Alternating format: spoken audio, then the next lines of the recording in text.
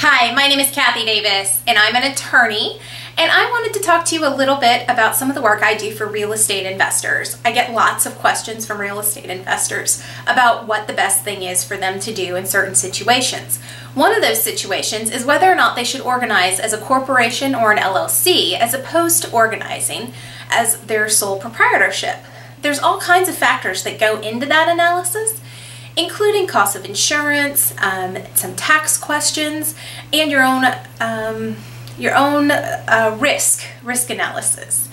Those are it's definitely not a question that is cut and dried, and the same is true for everyone. And so I would encourage you, if that's one of your questions, to talk to an attorney about it before you make a decision.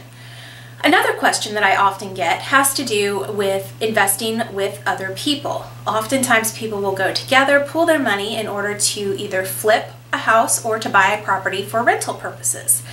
This is a great idea and a great way to pool your resources with people you know. However, you want to make sure that you have a written document outlining responsibilities, including who is doing what work, who is bringing in what money to the table, and how any profits will be distributed at the end of the project.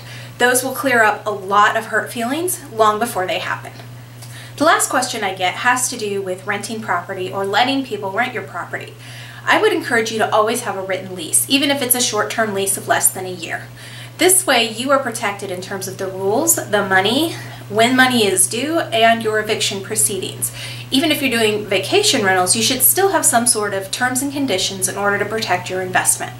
That's all for now. Again, my name is Kathy Davis. You can find out more about working with me at kjdlegal.com or at legalangel.us. Thanks.